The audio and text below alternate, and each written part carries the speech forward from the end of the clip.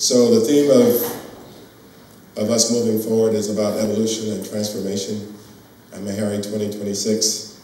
And the significance of Meharry 2026 is that's when we turn 150 years old. So you're going to be seeing this a lot. It's all about the next 10 years, making the next 10 years the best 10 years of Meharry's history. So that's what the Meharry 2026 is all about. And I do intend to be here to help you celebrate. Most organizations are great when they have a great culture. And I think we already have a great culture here, which is exemplified by the commitment and passion of the people here. The students are passionate about being here.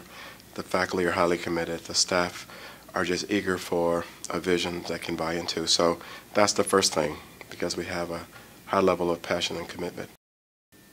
Hearing him in a town hall meeting today, I could only summarize it one way infectious confidence. He's moving the school into the right direction, but not by himself, but bringing other people along uh, uh, with them. I feel that the president's vision is what Meharry needs. Transformation and evolving is what we need here at Meharry Medical College. And I'm excited to be a part of this transforming vision of Dr. Hildreth.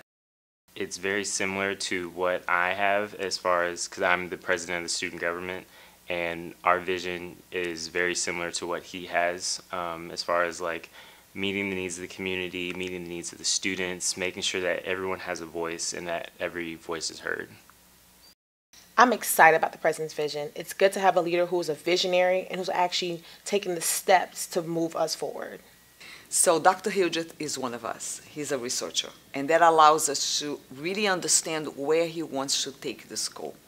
Dr. Hildreth is a man of great vision and great influence, and you get swept up in that vision that he has. And he's painted a wonderful vision for Meharry in this 21st century, and we want to be a part of that story as we move forward in science and technology and take forth um, personalized medicine and being a part of the new history that's being written. When this president said during one of his first assemblies with the staff, students, and faculty, he said, Now unto him who is able to keep us from falling I said, hey, hey, we're going to have a hallelujah good time. Um, I'm just excited about him because he sees who is the head. I feel that we are going some places that we've never been before, and I'm in for the ride. Thank God for Dr. Hildreth.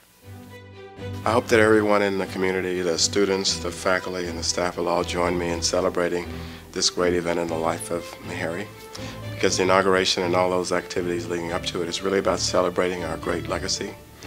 Um, and it's not really about me. I'm really proud to be the 12th president, but this event really symbolizes our, our long life as an institution and the great legacy that we have. And we hope that everybody will want to be a part of the, the celebration.